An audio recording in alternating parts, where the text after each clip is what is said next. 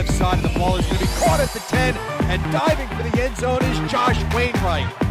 Beautiful catch, found the end zone, and Columbia